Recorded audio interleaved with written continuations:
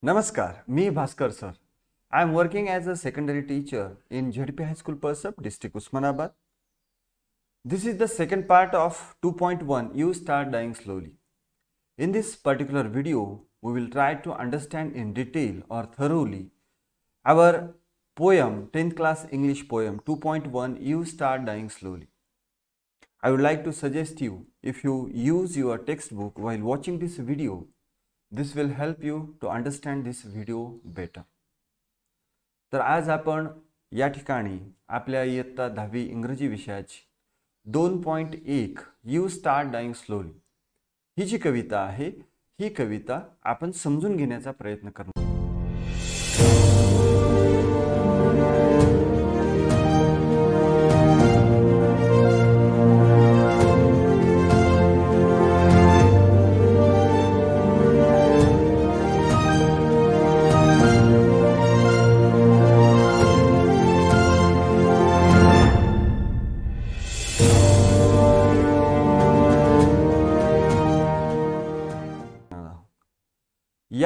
कवितेवरील हा दुसरा व्हिडिओ आहे.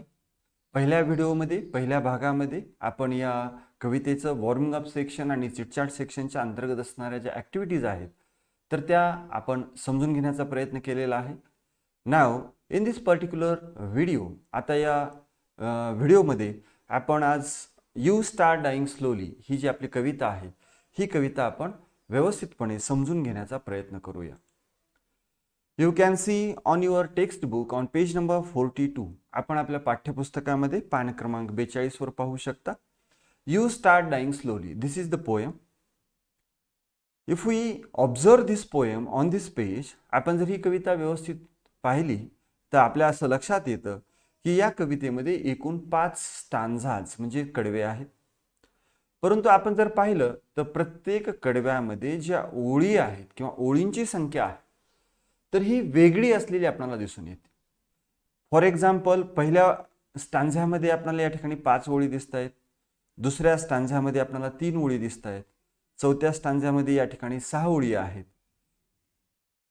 तिसऱ्या स्टांझ्यामध्ये या ठिकाणी सहा ओळी आहेत. चौथ्यामध्ये पाच आणि शेवटचा जो पाचवा स्टांजा आहे तर यामध्ये जर आपण पाहिलं तर या ठिकाणी आठ ओळी आहेत. म्हणजे यावरून आपल्या लक्षात येतं की या कवितेतील जी कडवे आहेत जे स्टांझाज आहेत आणि प्रत्येक स्टांझ्यामध्ये असणारी ओळींची संख्या जी आहे यामध्ये अनियमितता किंवा यामध्ये सारखेपणा आपल्याला दिसून येत नाही. म्हणजे the number of lines which occurred in each stanza is different प्रत्येक कडव्यामध्ये आलेल्या ओळींची संख्या ही वेगवेगळी आहे. दुसरी गोष्ट आपण जर पाहिलं if we examine the first stanza of this poem पहिला कडव्याचा जर आपण विचार केला आणि या कडव्यामध्ये यमक असणारे शब्द कवीद्वारे वापरले गेलेत का? हे जर आपण पाहण्याचा प्रयत्न केला तर पहिल्या ओळीचा शेवटचा शब्द आहे ट्रॅव्हल दुसऱ्या ओळीचा शेवटचा शब्द आहे रीड तर ट्रॅव्हल आणि रीड यामध्ये यमक साधत नाही. मग आपण पहिली आणि तिसऱ्या ओळीचे शेवटचे शब्द जर पाहिले तर ते शब्द आहेत ट्रॅव्हल आणि लाईफ यामध्येही यमक साधत नाही. मग आपण दुसऱ्या आणि चौथ्या ओळीच्या शेवटच्या शब्दांमध्ये जर पाहिलं रीड आणि युअर सेल्फ तर या दोन शब्दामध्ये सुद्धा आपणाला यमक असलेला दिसून येत नाही. या ठिकाणी आपण दोन क्रायटेरिया पाहिले तर स्टांझा पॅटर्न जो आहे तो इरेग्युलर आहे आणि ज्या स्टांझ्यामध्ये यमक असणारे जे रायमिंग वर्ड्स असतात जे की ओळीच्या शेवटी असतात तर या कडव्यामध्ये आपणाला यमक असणारे शब्दसुद्धा दिसून येत नाही मग यावरून आपण काय म्हणू शकतो जर आपण रायमिंग पॅटर्न पाहायचा प्रयत्न केला या कवितेच्या संदर्भानं if you try to find out the rhyming pattern if the poet used any rhyming pattern in this particular poem we can find out that there is no such type of rhyming pattern used by the poet in this particular poem. आपण जर पाहिलं तर या कवितेमध्ये कवीद्वारे यमक योजनेचा उपयोग झालेला दिसून येत नाही. आणि म्हणून we can say there is no rhyming words in this poem used by the poet so we can call this poem this is a free verse poem आणि म्हणून या कवितेमध्ये यमक योजना किंवा यमक असणाऱ्या शब्दांची योजना किंवा कसल्याही प्रकारचा रायमिंग पॅटर्न या कवितेच्या संदर्भाने आपल्याला दिसून येत नाही. कवीनं यमक असणाऱ्या शब्दांची योजना या कवितेमध्ये केलेली नाही. म्हणून आपण म्हणू शकतो की ही जी कविता आहे तर ही कविता फ्री वर्स या प्रकारातली कविता आहे. आता फ्री आणि वर्स हे दोन शब्द आहेत. याचा मराठीमध्ये अर्थ होतो फ्री वर्स म्हणजे मुक्त छंद कविता. मुक्त छंद म्हणजे आपण पाहिलं की या ठिकाणी प्रत्येक कडव्यातील ओळींची संख्या ही अनियमित आहे. म्हणजे इरेग्युलर पॅटर्न आहे. न related to the number of lines which occur in each stanza प्रत्येक कडव्यामध्ये आलेल्या ओळींची संख्या ही अनियमित आहे. म्हणजेच ही मुक्त छंद स्वरूपातली कविता आहे. सोबतच या कवितेमध्ये यमक असणाऱ्या शब्दांचा उपयोग झालेला नाही. या दोन गोष्टीवरून किंवा या दोन बाबीवरून आपण या निष्कर्षाप्रती येऊ शकतो की ही जी कविता आहे ती फ्री वर्स या प्रकारातली कविता आहे. फ्री वर्स म्हणजे मुक्त छंद कविता. Now see the poem you Start Dying slowly If we read the title of this poem आपण जर या कवितेचं शीर्षक वाचलं तर या कवितेचं शीर्षक आहे यू स्टार्ट डाईंग स्लोली एक एक शब्दांचा जर अर्थ आपण पाहिला तर यू म्हणजे तू किंवा तुम्ही. Start S T R T start म्हणजे सुरुवात होणे किंवा सुरुवात करणे. Die D I E die म्हणजे मरणे. दिस इज अ वर्ड पण या ठिकाणी आयनयुक्त रूप आहे. डाईंग म्हणजे मरत आहात. आणि slow S L O W slow म्हणजे सावकाश. तर याचंच क्रियाविशेषणाचं रूप तयार केलेलं आहे विशेषणापासून. तर स्लो हे ॲडजेक्टिव्ह आहे. तर त्याला यलवाय लावलेला आहे आणि ॲडव्हर बनवलेला आहे. तर स्लोली स्लोली म्हणजे सावकाशपणे. मग जर शब्दशः अर्थ आपण पाहिला या कवितेचा तर या कवितेचा अर्थ असा होतो की तुम्ही हळूहळू किंवा सावकाशपणे मरण्यास सुरुवात केलेली आहे. किंवा तुम्ही सावकाशपणे मरण्यास सुरुवात केलेली आहे. हा या टायटलचा शब्दशः अर्थ आहे. परंतु या ठिकाणी अर्थ कोणता अभिप्रेत आहे? आपण पाहू शकतो डाईंग स्लोली याचा अर्थ या ठिकाणी दिलेला आहे. Losing hope of a happy future lose म्हणजे हरवणे होप होप म्हणजे आशा. तर कोणती आशा आपण गमावणे? ऑफ अ हॅपी फ्युचर आनंदी भविष्याबद्दलची जी संकल्पना आहे सद्यस्थितीमध्ये आपण जरी अडचणींचा सामना करत असलो सद्यस्थितीमध्ये आपण कोणत्याही परिस्थितीमध्ये असलो तरी आपल्यापैकी प्रत्येक जण येणारा काळ म्हणजेच आपला भविष्यकाळ हा उज्ज्वल असेल सुंदर असेल आनंदी असेल सुखी आणि समाधानी असेल या आशेवर आपण जगत असतो. मग या ठिकाणी या टायटलचा अर्थ काय आहे? Dying slowly it means losing hope slowly for a better future for a happy and successful future it means you start dying slowly. This is the real meaning in the reference of this poem या शीर्षकाचा या कवितेच्या संदर्भानं जो अर्थ आहे तो असा की तुम्ही आनंदी भविष्याची जी आशा आहे ती आशा हळूहळू सोडून देत आहात. म्हणजे you start dying slowly Now see the first stanza of this poem. If you do not travel, if you do not read, if you do not listen to the sounds of life, if you do not appreciate yourself, you start dying slowly. When you kill your self esteem, when you do not let others help you, you start dying slowly. The hard word in first st uh, stanza is dying slowly, and the meaning of this word is losing hope of a happy future तर पहिल्या कडव्यातील जो अवघड शब्द आहे dying slowly तर याचा जो अर्थ आहे तो losing hope of a happy future आनंदी भविष्याची आशा गमावणे किंवा सोडून देणे. आणि दुसरा शब्द आहे दुसऱ्या स्थांजामधील सेल्फ एस्टीम तर सेल्फ एस्टीम म्हणजे काय? तर a feeling of being happy feeling म्हणजे भावना. बिंग हॅपी म्हणजे आनंदी असण्याची भावना. With your own character character म्हणजे तुमचं नेचर तुमचा स्वभाव. विथ युअर ओन कॅरेक्टर तुमच्या स्वतःच्या स्वभावासह तुमच्या स्वतःच्या चरित्रासह आनंदी असण्याची भावना and abilities or self respect self आणि रिस्पेक्ट रिस्पेक्ट म्हणजे आदर आणि सेल्फ म्हणजे स्वआदर तर स्वतःच स्वतःचा आदर करणे किंवा आपलं जे चरित्र आहे आपलं जे व्यक्तिमत्व आहे किंवा आपल्या ज्या ॲबिलिटीज म्हणजे क्षमता आहे याच्यासह आनंदी असण्याची भावना. म्हणजे तुम्ही जसे आहात तसा तुम्ही स्वतःचा स्वीकार करा. That is call self history now see the first line if we see in the first stanza the first four lines start with the same words if you do not if you do not आपण पहिल्या कडव्यामधील पहिल्या चार ओळींची सुरुवात ही a group of words and that group of words is if you do not तर if you do not या शब्दसमूहानं प्रत्येक ओळीची सुरुवात झालेली आहे. तर हा सुद्धा एक प्रकारचा फिगर ऑफ स्पीच आहे. In this particular poem the main figure of speech is anaphora A N O A N A P H O R A A N A P H O R A the pronunciation of this word is anaphora तर anaphora नावाची ही figure of speech म्हणजे शब्द अलंकार आहे. आता ॲनाफोरा म्हणजे काय? तर एकाच शब्दांनी किंवा शब्दसमूहाने जर ओळीची सुरुवात होत असेल तर अशा वेळेस या ठिकाणी जो शब्द अलंकार असतो तर त्याला ॲनाफोरा शब्दलंकार असं म्हटलं जातं.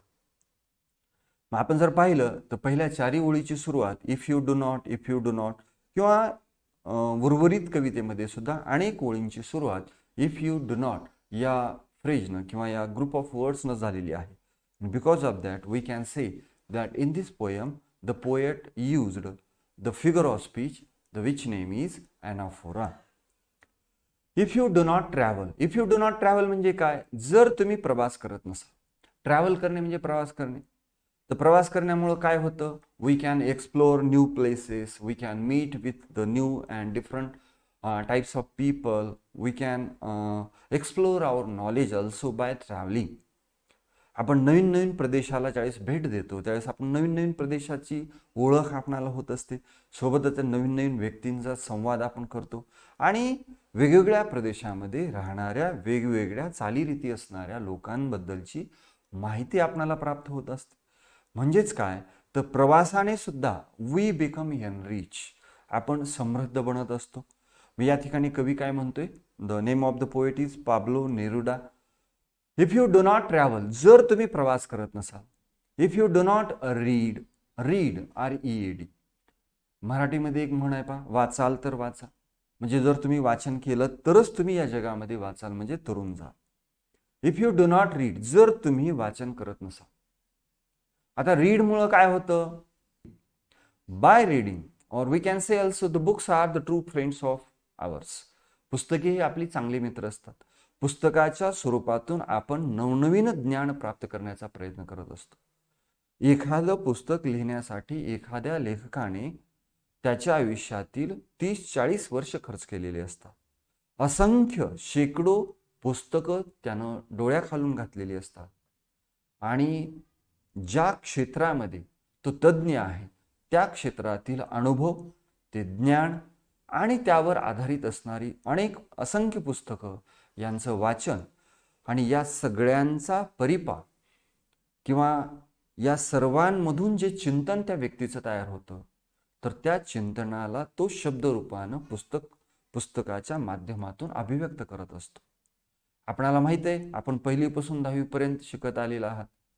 We all are now the students of tenth class आणि आपणाला जर एस ए लिहायचं असेल किंवा दोन पाण्याचं काहीतरी निबंध लिहा म्हटलं तर आपल्याला कितीतरी विचार करावा लागतो. मग एखादं पुस्तक लिहिण्यासाठी त्या लेखकाचं ज्ञान त्याची समज त्याचं कौशल्य हे किती असेल हे आपण जाणू शकतो. आणि ते पुस्तक अवघ्या काही तासांमध्ये किंवा दिवसांमध्ये आपण वाचून त्या पुस्तकातील संपूर्ण ज्ञान ग्रहण करू शकतो. It means to gain knowledge the authentic source to gain knowledge is reading books or the books तुम्हाला ज्ञान ग्रहण करण्याचा राजमार्ग जर कोणता असेल तो म्हणजे पुस्तक वाचन करा आणि because of that we have to read books on the topic which we like आपणाला आवडणाऱ्या आपणाला आवश्यक असणाऱ्या विषयावरची पुस्तकांचं वाचन आपण केलं पाहिजे की ज्यातून आपण ज्ञानाच्या माध्यमातून अनुभवाच्या माध्यमातून समृद्ध बनण्यास मदत होते. मग कवी काय म्हणतो या ठिकाणी? If you do not read जर तुम्ही वाचत नसाल means if you do not read books तुम्ही जर पुस्तकांचं वाचन करत नसाल किंवा if you have not the habit of reading तुम्हाला जर वाचनाची सवय नसेल किंवा if you do not listen to the sounds of life sounds of life life म्हणजे जीवन साऊंड म्हणजे ध्वनी.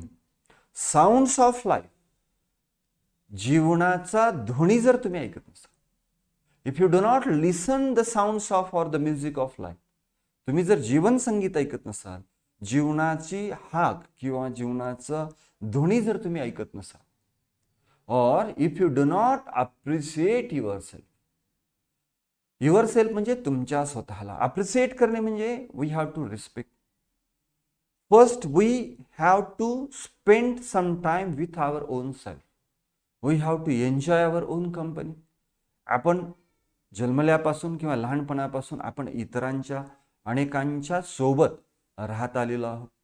पण हे करत असताना आपणाला स्वतःची सुद्धा सोबत आवडली पाहिजे. We have to like we have to love our own self आपणाला आपण आवडले पाहिजे. आपणाला आपल्या स्वतःवर प्रेम करता आलं पाहिजे. Our thoughts our ideas our attitude, we have to respect those things आपल्या दृष्टिकोन असेल आपले विचार असतील. आपला दृष्टिकोन आपले विचार आपल्या कल्पना याबद्दल आपल्या मनामध्ये आदर असला पाहिजे किंवा ते आपणाला आवडल्या पाहिजे. It means we have to appreciate you have to appreciate your self but if you do not appreciate your self It means you start dying slowly. If we do not fulfill all above criteria it means if you do not travel if you do not read if you do not listen to the sounds of life and if you do not appreciate yourself it means you start dying slowly जर तुम्ही या बाबी करत नसाल जर तुम्ही प्रवास करत नसाल जर तुम्ही वाचन करत नसाल जर तुम्ही तुमच्या जीवनाचं संगीत ऐकत नसाल ध्वनी ऐकत नसाल किंवा तुमच्या भविष्याची हाक ऐकत नसाल आणि जर तुम्ही तुमच्या स्वतःचा आदर करत नसाल तर you start dying slowly it means you start losing a better future hope तुम्ही चांगल्या आणि आनंदी भविष्याबद्दलची आशा किंवा जे काही समजा भविष्याच्या ज्या काही अपेक्षा आहेत तर त्या हळूहळू तुमच्या संपुष्टात येत आहेत. Now this, uh, see the second stanza. When you kill your self-esteem, What is mean by self-esteem? A feeling of being happy with your own character and abilities or self-respect. A feeling of being happy. भावना पण कोणती भावना आपल्या स्वतःच्या स्वभावाचं आपल्या स्वतःच्या व्यक्तिमत्वाचं आपल्या क्षमतांसह म्हणजे तुम्ही जे आहात त्याच्यासह आपल्याकडे जे आहे आपण जसे आहोत तशा स्वरूपामध्ये. तुम्ही जर तुमच्या स्वतःबद्दल आनंदाची भावना तुमच्या मनामध्ये असेल and you show self respect generally we give others respect but we also give our own self respect also आपण सामान्यतः इतरांचा आदर करतच असतो परंतु आपण आपल्या स्वतःचा सुद्धा आदर केला पाहिजे. आपण जसे आहोत त्याच्यासह आपण स्वतःचा अगोदर स्वीकार केला पाहिजे. We should accept our own self whatever we are our colour height or our body structure our our own abilities आपल्या ज्या काही क्षमता असतील आपलं जे दिसणं असेल आपली जी शरीर रचना असेल आपण जसे असू तसं आपण आपला स्वीकार केला पाहिजे आणि आपण जसे आहोत ते स्वीकारून त्याच्यासह आपल्या मनामध्ये आपल्या स्वतःबद्दल आनंदाची भावना असली पाहिजे. when you kill your self esteem kill means ठार मांडणे म्हणजे संपुष्टात आणणे here when you kill your self esteem जर तुम्ही तुमचा स्व आदर आत्मसन्मान जर गमावत असाल when you do not let others help you we are social animal we live in the society we do many interaction with others sometimes we help others sometimes others can help us by giving and taking by helping others and taking others helps our life becomes smooth and happier आपण समाजशील प्राणी आहोत आणि आपण समाजामध्ये राहतो. मग या समाजामध्ये राहत असताना आपला दैनंदिन जगत असताना किंवा दैनंदिन जीवनामध्ये अनेकांशी संपर्क येत असतो. आणि विचारांची देवाणघेवाण असेल किंवा एकमेकांना लागणारी मदत त्याची देवाणघेवाण करणं असेल तर या गोष्टी आपण सहजपणे करत असतो. पण जर तुम्ही इतरांची मदत नाकारत असाल म्हणजेच ज्यावेळेस इतर लोक तुम्हाला मदत करत असतील आणि ती मदत जर तुम्ही स्वीकारत नसाल it means when you do not let others help you जर तुम्ही इतरांना तुमची मदत करू देत नसाल किंवा when you kill your self esteem तुम्ही तुमचा आत्मसन्मान मारत असाल you start dying slowly it means याचाच अर्थ असा होतो की you start dying slowly means you are losing hope of a happy future. Or you are losing hope for your happy future तुम्ही तुमच्या आनंदी भविष्याची आशा या ठिकाणी गमावत आहात. Here is a question what things can lead to a slow death here slow death means slowly slowly you are losing hope for better or happy future which things can lead it means not traveling not reading or not listening the sound of life or uh, not appreciate our own self or uh, not maintaining the self esteem or not help uh, let the others helping you. These are the things which cause or which lead to a slow death. If you become a slave of your habits, walking every day on the same path, if you do not change your routine, if you do not wear different colors, or you do not speak to those you don't know, you start dying slowly. If you, if you avoid to feel passion and their turbulent emotions, those which make your eyes glisten and your heart beat fast, you start dying slowly. If you become a slave of your habits, in this line there are two words slave and habit. Become म्हणजे बनणे if you become जर तुम्ही बनत असाल. काय बनत असाल? Slave of your habits habit म्हणजे सवय आणि स्लेव म्हणजे गुलाम.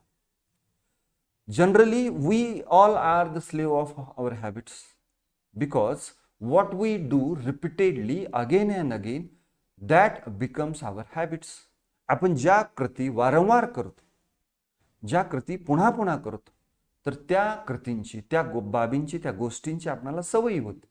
आणि आपणाला जशी सवयी आहे तर आपल्या सवयीनुसार आपलं वर्तन बनत जातं.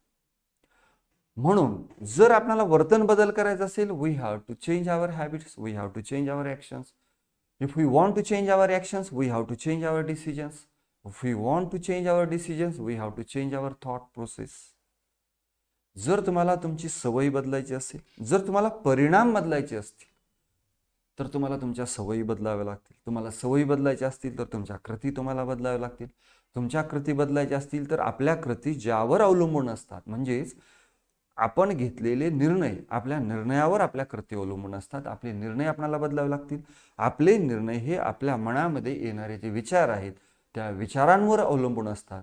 जर आपणाला निर्णय बदलायचे असतील तर विचार बदलावे लागतील आणि विचार बदलण्यासाठी we have to our mind mind with great thoughts for that we have to read we have to listen good things आणि मग आपणाला जर विचार बनाय ब बदलायचे असतील तर आपणाला आपल्या बुद्धीचं पोषण उदात्त विचाराने करावं लागेल. आणि मग आपल्या बुद्धीचं पोषण करण्यासाठी आपणाला वाचनाची सवय म्हणजेच काय? We have to read books we have the habit we have to cultivate we have to develop the habit for reading आपण वाचनाची सवय विकसित केली पाहिजे. If we become a slave of your habits जर तुम्ही तुमच्या सवयीचे गुलाम बनत असाल walking every day on the same path walk म्हणजे चालणे एव्हरी डे म्हणजे दर दिवशी प्रत्येक दिवशी सेम पाथ सेम म्हणजे तोच तोच किंवा सारखा आणि पाथ म्हणजे मार्ग. जर तुम्ही दररोज त्याच त्याच मार्गानं चालत असाल it means you are trapped in to your daily routine and you are repeatedly doing the same thing again and again the same actions again and again because we are trapped in your daily routine तुमचा जो दैनंदिन नित्यक्रम आहे आणि दररोज तुम्ही त्याच त्याच त्याच त्याच गोष्टी करत असाल तर मग आपण त्याच त्याच गोष्टी करतोय आणि आपणाला वेगळा परिणाम पाहिजे असेल हे कसं शक्य असेल मग? If we want the different outcome, different result we have to change your actions also. जर तुम्हाला परिणाम वेगळे पाहिजे असतील तर तुम्हाला त्यासाठीच्या कृती सुद्धा वेगळ्या कराव्या लागतील but if we become the slave of our habits we repeatedly every day we are busy in doing the same things again and again ज्यावेळेस आपण आपल्या सवयीचे गुलाम बनतो आणि आपल्या दिनक्रमामध्ये आपण अडकतो तेच तेच आयुष्य आपण जगू लागतो. त्यावेळेस मात्र आपण त्याच त्याच गोष्टी वारंवार किंवा पुन्हा पुन्हा करत जात. If you do not change your routine for doing something new something extra something different वेगळं काहीतरी करण्यासाठी नवीन काहीतरी करण्यासाठी if we do not change your routine routine means for morning to night आपला दिनक्रम ठरलेला असतो. समजा सोमवार ते शुक्रवारचा जो दिनक्रम आहे सकाळी उठणे ट्युशन वगैरे करणे थोडासा अभ्यास करणे शाळेला जाणे शाळा करणे परत येणे ट्युशन असेल तर ट्युशन करणे परत थोडासा अभ्यास करणे आणि झोपी किंवा मोठ्या लोकांचं जे ऑफिसला वगैरे जातात त्यांचा सुद्धा दिनक्रम ठरलेला असतो. नित्यनियमानं किती वाजता उठायचं आंघोळ कधी करायची नाश्ता कधी करायचा डब्बा कधी घ्यायचा ऑफिसला कधी जायचं हे सगळं from when we wake up in the early morning from that period to when we went to bed at night सकाळी झोपेतून उठल्यापासून रात्री झोपेपर्यंत आपला जवळपास दिनक्रम हा ठरलेला असतो. When we become the slave of your habits we are repeatedly doing the same things again and agains means you are walking every day on the same path and if you do not change your routine आणि या गोष्टी करत असताना जर तुमची तुम्ही तुमचा दिनक्रम बदलत नसाल if you do not wear different colours wear म्हणजे परिधान करणे. जर तुम्ही वेगवेगळे रंग स्वतःवर परिधान करत नसाल it means if you do not wear the different types of clothes different types of colours आपल्या प्रत्येकाचा एक ठराविक आवडता रंग असतो आणि त्या रंगाचे कपडे आपणाला आवडतात. परंतु एखादा जसा आवडता असतो तसा नावडता सुद्धा असतो. पण रंग हे रंग आहेत. मग कधीतरी चेंज म्हणून आपण वेगवेगळ्या रंगांची कपडे सुद्धा परिधान करायला काय हरकत आहे? थोडंसं वेगळं करायला काय हरकत आहे? If you do not we are different colours or you do not speak to those you don't know to home we are naturally speak आपण जनरली किंवा सामान्यतः कोणाशी बोलतो तर आपली ज्यांच्याशी ओळख आहे our friends our close members or our family members but we uh, to to avoid to speak someone who is strange to us who is unknown to us आपल्याला जे परिचित असणारे व्यक्ती आहेत किंवा आपल्या जवळच्या ज्या व्यक्ती आहेत आपले मित्र असतील कुटुंबातील सदस्य असतील यांच्याशी सामान्यतः आपण बोलण्याचा प्रयत्न करतो. परंतु आपणाला अनोळखी असणाऱ्या एखाद्या व्यक्ती असतील किंवा अपरिचित अपरिचित असणारा एखादा व्यक्ती असेल त्याच्याशी जर बोलायचं म्हटलं आपण घाबरतो आपण टाळतो. मग जे आपल्याला परिचित आहेत ज्यांच्याशी आपण दररोज बोलतोय त्यांच्याशीच आपण सारखं सारखं बोलून नवीन काय आपण प्राप्त करू शकणार आहोत? याच्याशिवाय काही वेळे जर आपण नवीन व्यक्तीशी अनोळखी व्यक्तीशी जर संवाद साधण्याचा प्रयत्न केला it will give us the confidence as well as we can gain some new knowledge or the more knowledge which you are till now we are unfamiliar आत्तापर्यंत तुम्हाला अज्ञात असणार आत्तापर्यंत माहीत नसणारं एखादी नवीन गोष्ट तुम्हाला माहीत होईल नवीन व्यक्तीशी संवाद साधत असताना. सोबतच नवीन व्यक्तीशी संवाद साधत असताना पुढं चलून जर तुम्ही कुठल्या प्रदेशामध्ये अडकलात प्रवास करत असताना नवीन ठिकाणी गेलात आणि काही अडचण आली तर त्यावेळेस तुम्ही अनोळखी व्यक्तींशी सुद्धा सुसंवाद साधून त्यांची मदत घेण्यास समर्थ ठरू शकाल. ही क्षमता तुमच्यामध्ये निर्माण होऊ शकेल. म्हणून कवी काय म्हणतो या ठिकाणी? Or you do not speak to those you don't know तुम्हाला माहीत नसणाऱ्या व्यक्तीशी जर तुम्ही बोलत नसाल it means you start dying slowly तर याचाच अर्थ असा होतो की तुम्ही हळूहळू मराय मरणास सुरुवात केलेली आहे. म्हणजेच तुम्ही आनंदी भविष्याविषयीची जी तुमची संकल्पना आहे तुमची जी आशा आहे ती तुम्ही हळूहळू गमावत आहात आणि you become depress nervous and trapped in your routine life which became boring आणि तुम्ही तुमच्या नित्यक्रमामध्ये अडकलेला आहात. तुमची आशा संपुष्टात येत आहे. म्हणजेच तुम्ही नैराश्यमध्ये जात आहात. तुम्ही उदासीन बनत आहात. आणि त्यामुळं एकंदरीतच तुमचं जे जीवन आहे हे जीवन जे आनंदी आणि उल्हासित असायला पाहिजे याऐवजी बोरिंग आणि नर्वस बनत आहे. नाव सी द सेकंड पॅ next para next stanza. If you avoid to feel passion passion passion means to desire something very strongly or a strong desire for something which is good एखाद्या चांगल्या बद्द चांगल्या बाबीबद्दलची असणारी तीव्र ओढ मनातून आपल्याला वाटतं काही वेळेस. एखाद्या बाबीबद्दल आपल्याला तीव्र आकर्षण वाटतं. आता पॅशन नावाची एक गाडी पण आहे टू व्हीलर गाडी. होंडा कंपनीची त्याला आपण पॅशन असं म्हणतो जी अगोदर होती बाजारामध्ये आत्तासुद्धा आहे. हिरो होंडा कंपनीची पॅशन नावाची एक गाडी होती. That is the name of that by पण the meaning of passion is a strong desire the strong attraction towards our dream आपल्या स्वप्नाप्रती आपल्या uh, भविष्यकालीन एखाद्या बाबीबद्दल आपल्या मनामध्ये असणारी तीव्र ओढ. तर फील म्हणजे जाणवणे किंवा ती जाणीव होणे. If we avoid to feel passion जर तुम्ही पॅशनेट असाल एखाद्या बाबीबद्दल जर तुमच्या मनामध्ये तीव्र ओढ असेल that time we can feel your emotional state is also in a turbulent means and their turbulent emotion if you avoid to feel passion and their turbulent emotion what is mean by turbulent turbulent means unsteady steady म्हणजे स्थिर आणि unsteady म्हणजे अस्थिर.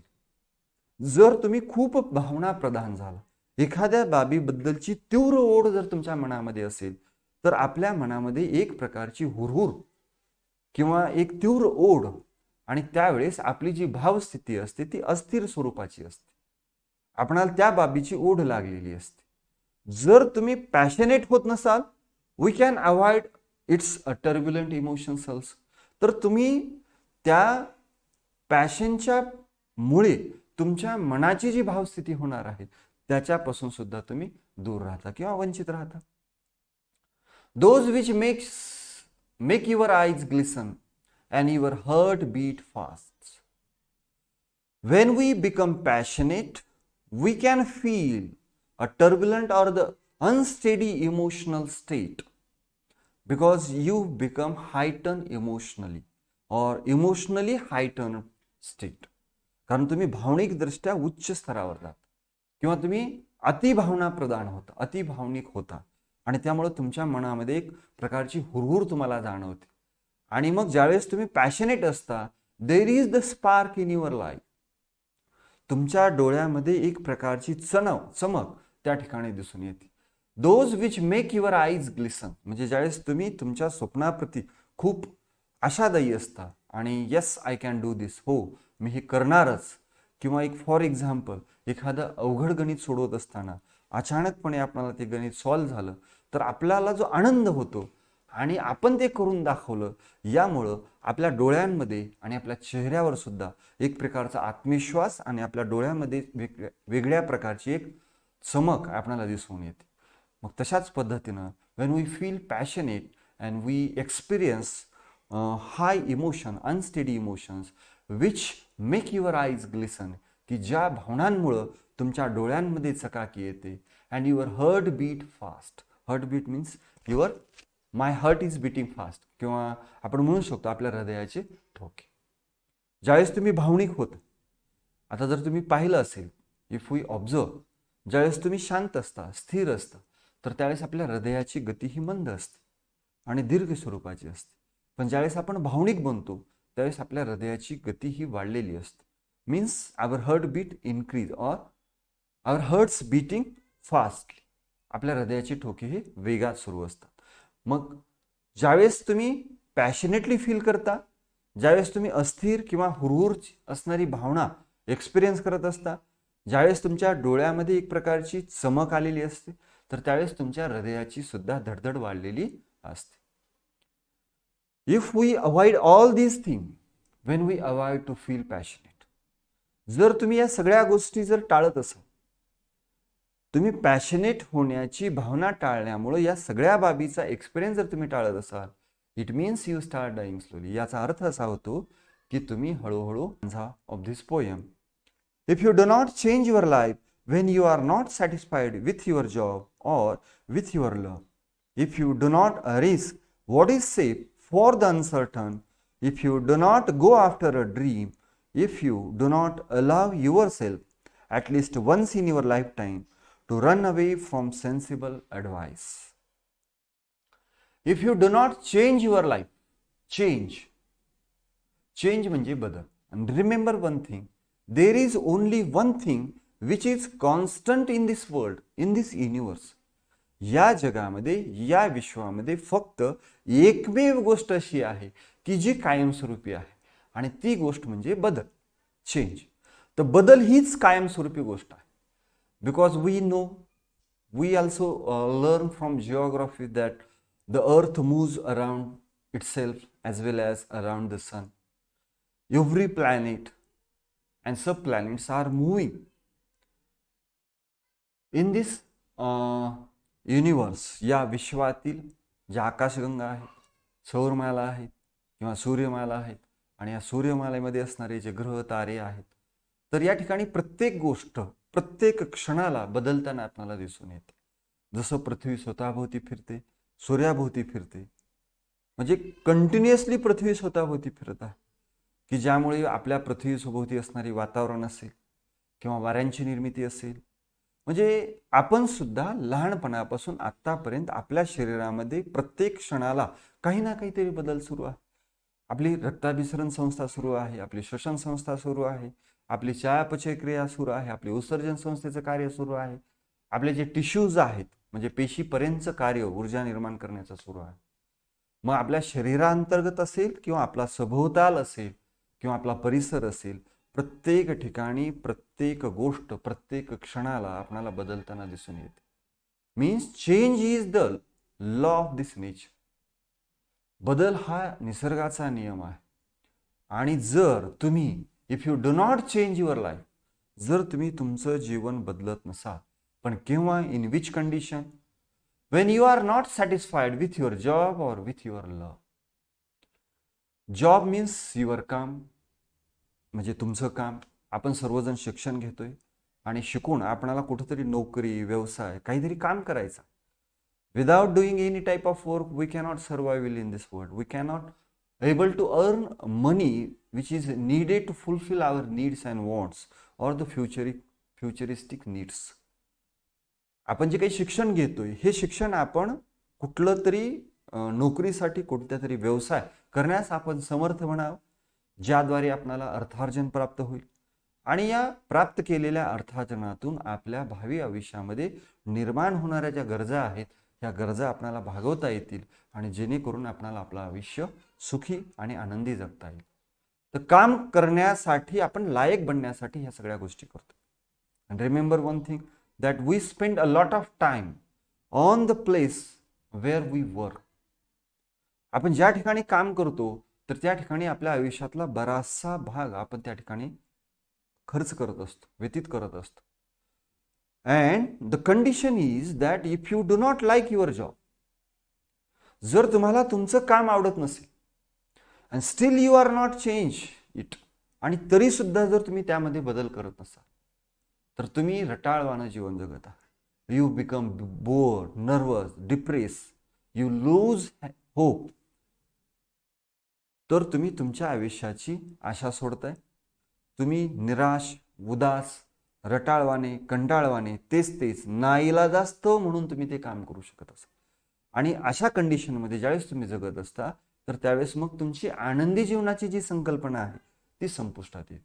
For that reason we have to work what we love or we have to love what we work एकतर आपणाला जे आवडतं ते काम आपण केलं पाहिजे किंवा आपण जे करतो त्याच्यामध्ये आपण आवड निर्माण केली पाहिजे. It means if you do not change your life when you are not satisfied with your job or with your love love means the people after marriage we in our culture we have to stay or we have to maintain our family but sometimes we don't like our partner मग काही वेळेस आपणाला आपला जोडीदार आवडत नाही.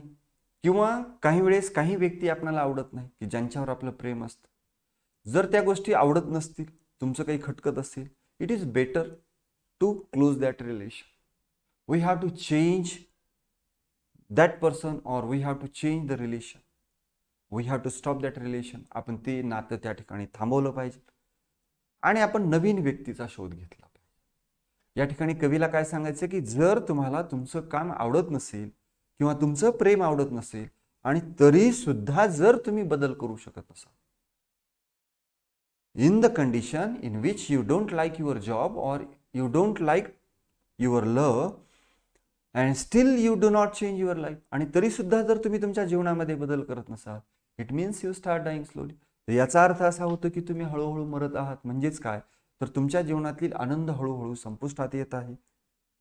If you do not risk what is safe for the uncertain certain म्हणजे निश्चित किंवा खात्रीशीर त्याचा विरुद्धार्थी शब्द आहे अनसर्टन तर अनसर्टन म्हणजे अनिश्चित किंवा ज्याची खात्री देता येत नाही असा. If you do not risk what is safe for the uncertain जे सेफ आहे जे सुरक्षित आहे जे सुरक्षित आहे ते सोडून जे असुरक्षित आहे अनिश्चित आहे त्याच्यासाठी जर तुम्ही धोका पत्करत नसाल काही वेळेस if you do not go after a dream आणि अनिश्चिततेचा किंवा तुमची जी स्वप्न आहे त्या स्वप्नांचा पाठलाग करण्यासाठी स्वप्नांना सत्यामध्ये उतरण्यासाठी तुमचं सुरक्षित जे काही आयुष्य आहे किंवा जे सुरक्षित कवच आहे तर ते सोडून अनिश्चिततेच्या दिशेनं ज्याची खात्री नाही आणि तुमच्या स्वप्नांच्या दिशेनं जर तुम्ही जाण्याची हिंमत करत नसाल त्याची तुम्ही रिस्क किंवा त्याबद्दलचा धोका तुम्ही पत्करत नसाल. If you do not allow yourself allow allow means परवानगी देणे. जर तुम्ही तुमच्या स्वतःला परवानगी देत नसाल कशासाठी? ॲटलिस्ट वन्स ॲटलिस्ट म्हणजे कमीत कमी once in your life time तुमच्या संपूर्ण जीवनामध्ये कमीत कमी एक वेळेस तरी तुमच्या स्वतःच्या स्वप्नांच्या दिशेनं किंवा to run away from sensible advice आता या ठिकाणी advice A D V I C तर ॲडव्हाइस म्हणजे सल्ला. हे नौन आहे. याच शब्दातील A D V I S C जर असं स्पेलिंग लिहिलं म्हणजे सीच्या ऐवजी जर आपण यस घेतलं तर हा शब्द म्हणजे A D V I S C this becomes verb तर हे क्रियापद होतं आणि याचा अर्थ होतो सल्ला देण. पण या ठिकाणी A D V I C advice म्हणजे सल्ला. At least once in your lifetime to run away from sensible advice कमीत कमी जीवनात एकदा तरी सेन्सिबल ॲडवाईस सेन्सिबल म्हणजे काय? तर wise full of common sense ज्याला आपण समयसूचकता म्हणू किंवा शहाणपणाचा निर्णय म्हणू किंवा शहाणपणाचा सल्ला म्हणूया.